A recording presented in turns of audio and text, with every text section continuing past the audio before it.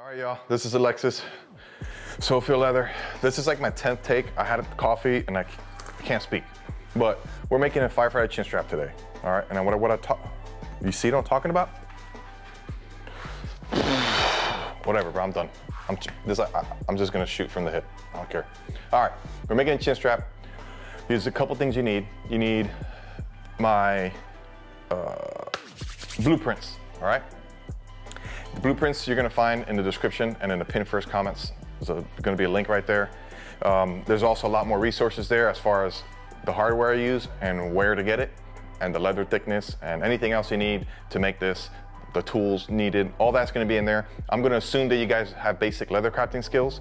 Of course, in the description, there's gonna be timestamps, which should uh, put some indicators on the timeline and also you can hit that indicator and it'll uh, populate a thing called chapters, so you can kind of skip around in the video. This is this is not going to be a level 10 video. Uh, this is fairly easy to make. So a couple things about um, this video. I'm not going to go over exactly the dimensions. That is essentially my blueprint. What I am going to go over is the assembly, cutting, and stuff like that. So yeah. Anyway, so let's get started. We're going to turn over here and let's get started. Okay. Bye. Like I said, need these blueprints. All right. You need the blueprints. You need the three quarter inch wide guard buckle. Watch that video I was talking to you about. And you need this alligator snap. Watch that video I was talking about. All right. Whole grain leather. You can use whatever you want. I'm using English bridle from um, Wickett and Craig. English bridle from Wickett and Craig. And uh, this is about nine ounces all right? We are gonna skive a couple of sections. You don't need to do that, but it'll make your life a lot easier, trust me. So I'm gonna go ahead and cut these out, my pieces, and let's get started. The beauty of using a one and a half inch strip is that when you cut this down, you actually yield two straps. Like I said, I think you need about 40 inches We'll cut more if we need to, so we'll set this off to the side. All right, so if you wanna take pattern A, A as an alpha, says make two of these. So we're gonna go ahead and make two of these right now. So what, what I do is I make a, a mark, right? I make a mark, that mark right there. That is the beginning of that pattern. I'm gonna make two A's, and then I'll show you what that looks like, and then I'll do the rest, fast forward, all right? You see I made my marks right there. That's the beginning of that pattern. And if you notice right here, uh, that's the end of this pattern. So I'm not gonna cut this out yet. I'm gonna make the other one because I have to make two, but I'm gonna show you a little trick. And um, so this is the end of this pattern and then I go really close to it. So to me, putting something really close to the last one indicates that this is a new piece. All right, so um, now that second dot there on the right side, that's the beginning of the new alpha pattern. So let's go ahead and do that. This is two of the alphas. And I think I have enough room. I think I have enough room down here. So if you go to C, we definitely have enough room to, to do that. If you look at the bottom of the print, you notice the length, the total length, and all you gotta do is eyeball it right here and say, yep, I definitely have enough for that. So that's what we're gonna get squared, that's what we're gonna do right now. So this is basically A and C. And what we're gonna do is, we're gonna go ahead and do number Bravo. So the finish size for my suspenders for this print is the total length is about 24 inches. I, I know a lot of guys want them to be a little bit longer. So this is where on pattern B, this is where you would extend the length. So pattern A and C are always gonna be consistently the same.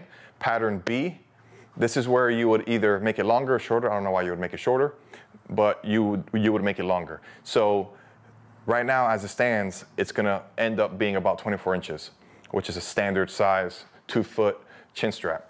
If you want to make it longer, some guys want it a little longer.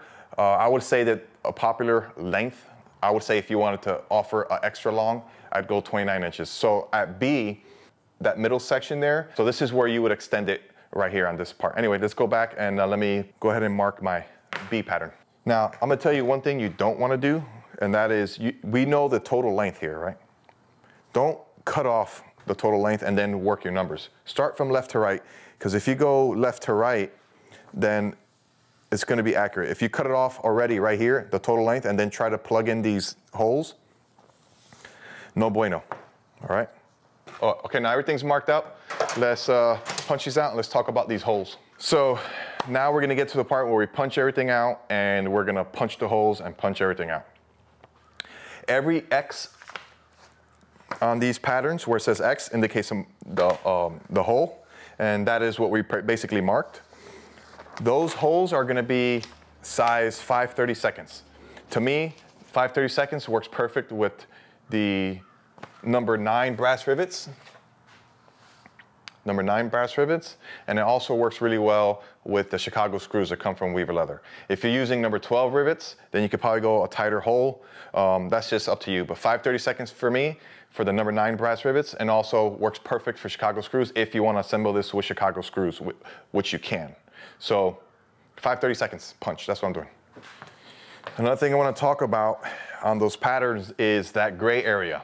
If you notice on the gray area, or the darker colored um, at the ends there, that is a preference, all right? So you can use whatever you want. You can make this straight if you wanted to, or you can use the radius that, uh, that I provided. Um, that, that's entirely a preference and totally up to you. But basically what we're gonna do now, or see where we started that dot, that basically indicates where we're gonna start the cut. So if you want a straight cut, you just come straight down that, or if you wanted that radius, you use your punch, and that is it. So I'm just gonna go ahead and just punch these out. What I do is I cut out all the ends first on all my straps, and then I punch the holes.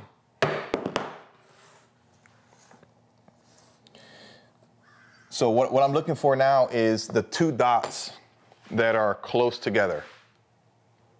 See those two dots that are close together? To me, that tells me that's the end of one piece and the beginning of another. So look out for that. That's just a little tip. That's what I do. I found that to be the most effective way of doing this. And I always double check. Why? Because I've messed up before, trust me. I'm gonna go ahead and punch all this out and then uh, we'll move on to the next step. All right, this is all cut out and I am gonna punch the holes. The reason why I'm gonna punch the holes is because we have to skive a couple of these areas. You don't have to, but to weave it through your little um, metal bracket on your helmet, you kind of need it a little thinner, but you could do it just as is. Maybe use a lighter leather, like a, a eight ounce or seven ounce.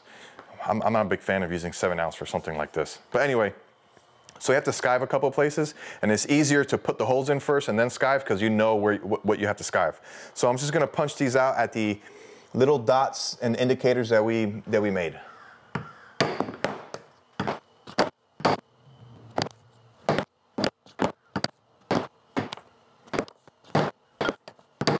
Wow, the sun is coming down. So this is what, not coming down, coming in here, pretty good. This is A, wow. The sun though on the reels hit me right in the face. Whoa, that is hitting me right. Can you guys see that? So this is A, all right? And what we're gonna do is we're gonna skive from here out. This is where the snaps or the Chicago screws come in. And from here, this circle out, we're gonna skive that down a little bit too. That's A, we're gonna do that on both. This is, I think, C. Wow, it is really bright. That is C, and we're gonna just skive it down a little bit from here up to the hole. Um, you don't have to. This is the chin protector, and you'll see that uh, skiving it down is gonna make the assembly a little bit easier. Wow, this whole, this sun is ridiculous. This is number B. This is a main strap, and we're gonna skive from the hole out on both ends, all right? And you'll see why when we, we assemble. So basically one side of this is gonna be the buckle, the female part, and the other side is gonna be just a thumb tab, all right? It's gonna fold on itself. All right, let's go skive this down. So for A, you can almost just skive the whole thing, and I'll tell you why. So um, whatever skiver you have, uh, if you have that cheapy skiver, the one that everybody hates, that doesn't work really well, this will work. And you basically want to get it down to about six ounces or so. And you can almost skive this whole thing down, you know? Because all you're left with is just that little piece there. And it's not really skived that much down, but it really does help the assembly uh, portion. I wouldn't go skive it down too much. I'll show you here in a second. Let me, uh, another thing too is this part here is the part that's gonna fold and go through that metal bracket in your chin strap. If you have the Metro style that has that really, really tight plastic piece, you might wanna get this down a little, a little further, okay? You might wanna skive that down just a little bit more. I've made a couple for some guys and it was a little tight, but uh, they got it through there. So next time I would have made it more. This is piece B and um, from the hole out. This is where the female buckle is gonna go as well as the thumb loop. The, uh, not thumb loop, the um, thumb tab. This is one of the best things I've ever invested in. Um, this is a chin protector. So that metal alligator uh, snap is not eating up your jaw. Um, so this is kind of tricky, but I get it in there and then I kind of pull it. And that's just gonna help a little bit. I mean, nothing crazy. All right, let's go ahead and bevel and burnish. All right, so before we bevel and burn, burnish, I kind of want to show you, I didn't really take that much off. All right, there's not that much that I took off. So I think get it down to about seven or eight ounces and you should be fine. Or you could just make this whole thing out of eight ounces and you'll be fine. That's, that's your call. Your call completely. See, it's not that much tighter. But uh, yeah, so this is the part right here where you would put whatever kind of personal, uh, customizable thing. If they want um, a name stamped here or um, they want a little pretty little flower concho, um, if they want it painted uh, with whatever, whatever they want. This is where you would do it right here. This is a main strap.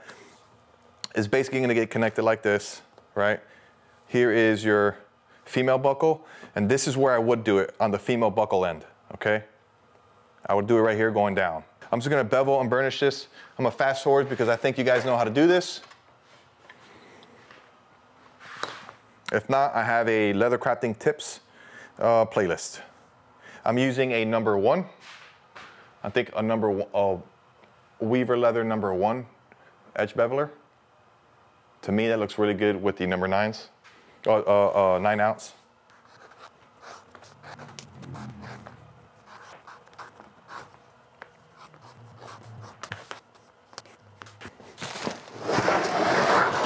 Hold on, I wanted to move that garbage can so you don't see my garbage can. It's not really professional. All right, y'all. I'm gonna cheat. I'm gonna use my machine because I spent money on it. So I'm gonna go ahead and cheat and use this. But uh, if you guys wanna know other tricks on how to do this, look up my leather crafting tips playlist. And if it's not on there, it's because I haven't made it yet.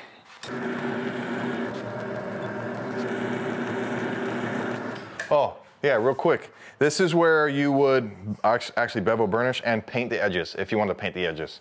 Do what you want on this. I'm gonna leave it raw. I like that look. Um, but yeah, this is where you bevel burnish and get the edges however you want them.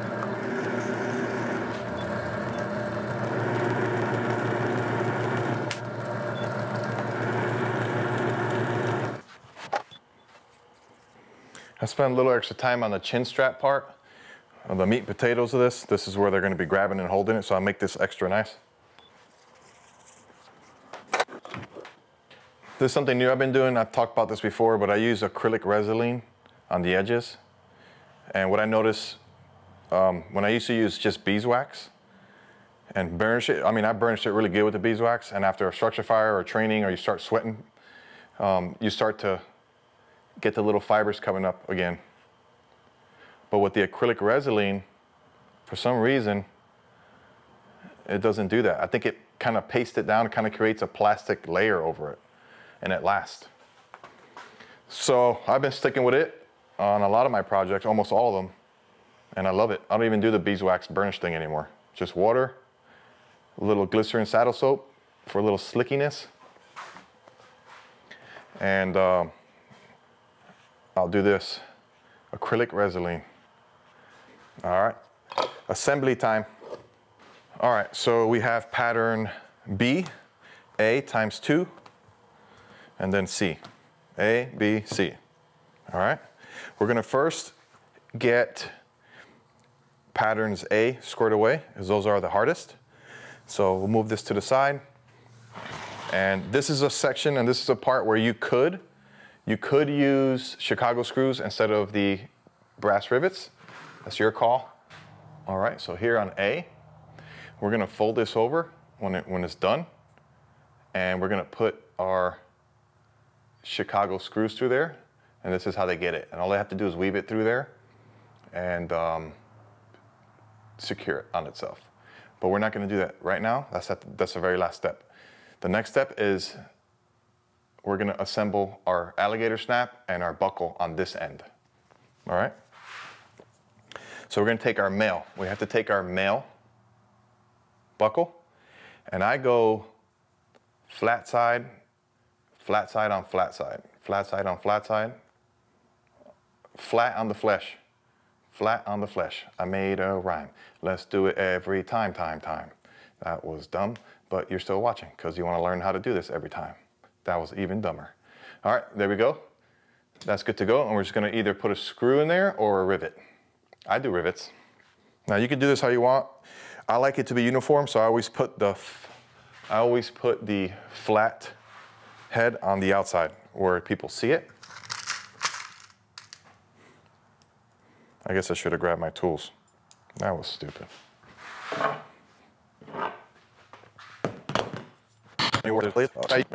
All right, now we're gonna get the next A. So that's done, by the way. This is done. Let's get the next A. Same thing. We're not gonna worry about this section here. We're gonna work on this longer piece here. And this is how you weave this through. You can do how you want. I go in from the top like that, right? And then I put this back piece in. And to me, that's just a little bit easier. However you want to do it, it needs to end up looking like that. It needs to end up looking like that.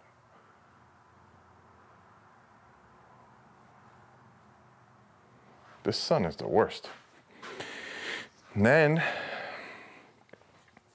you're to take part C and you're going to put it right behind like that. Let me put a rivet through there so I can show you.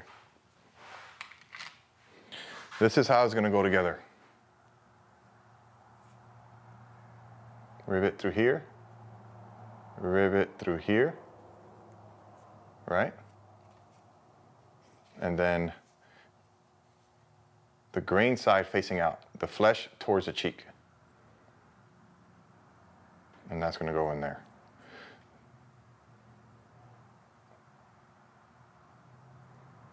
All right. Because see, without this piece, this metal will be hitting um, their jaw.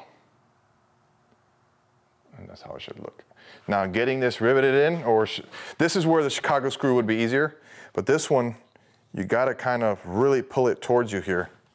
So pull it that way or get this kind of flattened out before you do anything so you have space to work with. Just like that. And I don't go all the way in first.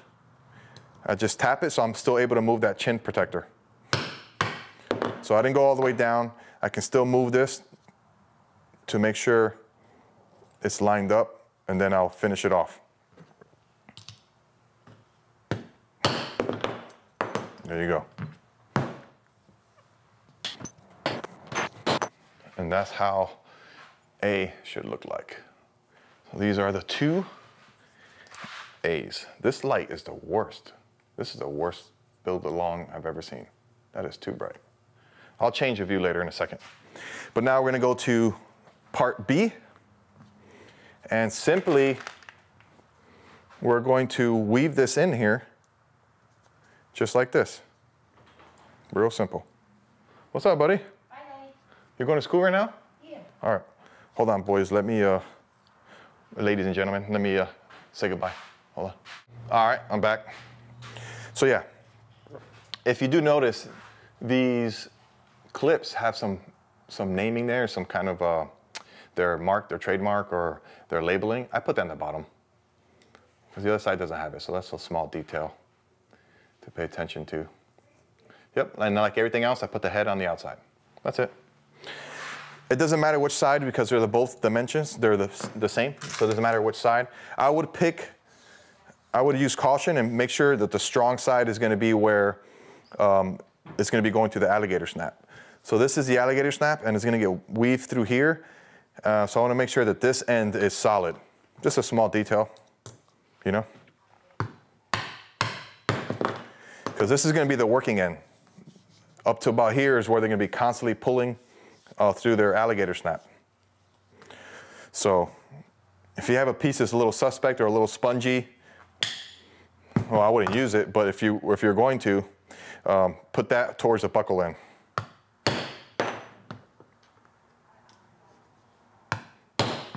That's another reason why I put their name and stamping here. Okay. Now, all we have to do is, to finish this off, is weave this through the alligator snap.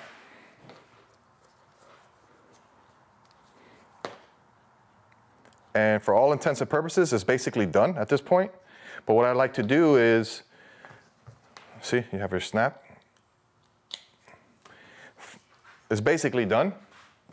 But the problem is, if they pull this all the way through and DC from their buckle, they lose that piece and you have to make them another one. So if you want to make more money, just skip this part. But I'm a nice guy. So you just weave this through and all you're doing is, uh, if you want to use a Chicago screw, you can, but you're just going to rivet on itself. That's it. And what that does is prevents it from pulling through the alligator snap. Bye, Jay. I love you, buddy. And make sure, make sure that the grain is facing out. You know what I mean? And that is a real simple way of preventing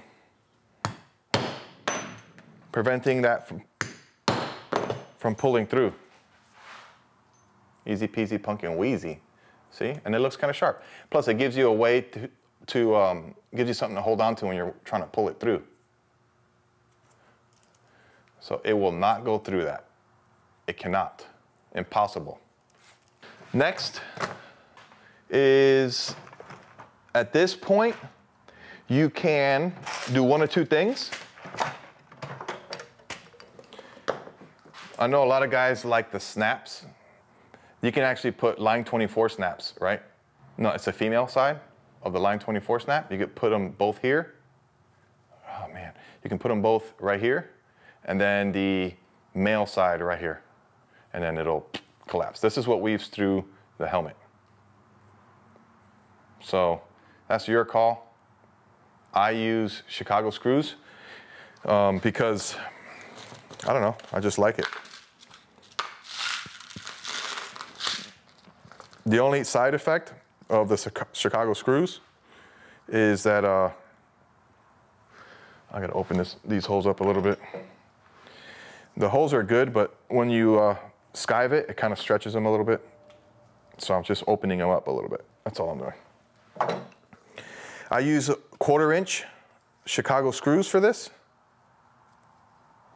Quarter inch Chicago screws. And I don't Loctite it for obvious reasons, right? If they get it and they can't open it, they can't assemble it, right? They can't put it on their helmet. So don't Loctite. But you gotta make sure that they know that they have to um, so it doesn't back out. You can also send them extra screws. I always send people like a, an extra screw or two, screw or two. Um, this way they have it. And I don't go all the way down.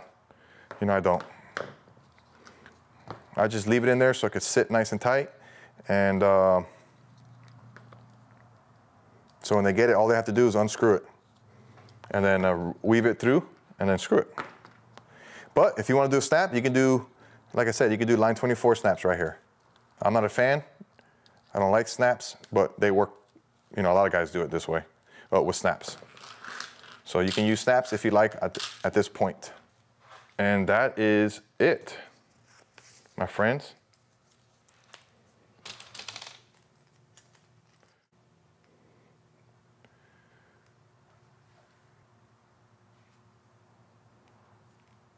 I don't know, but yeah, that's done.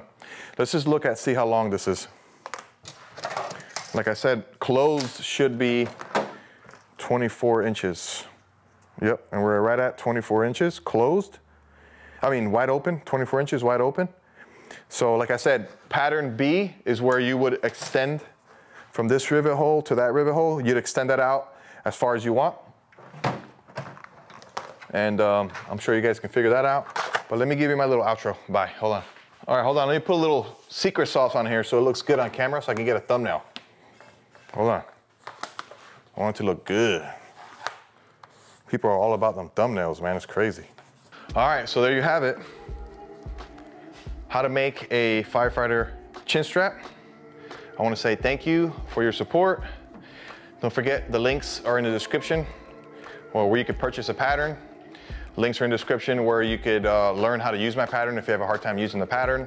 Also where to get the hardware, what kind of hardware, and also basic leather tools where you need to, uh, where to get the tools, um, and what I use. There's a whole bunch of stuff. In,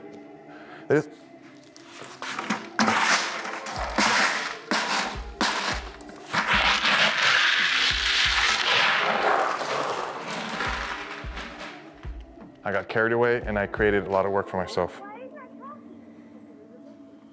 That was not smart. Anyway, um, that was not smart. Anyways, in the description and in the pin first comments, you have links to everything. If you need anything else, don't forget to comment below. Thank you very much. God bless you. Talk to you later. Bye.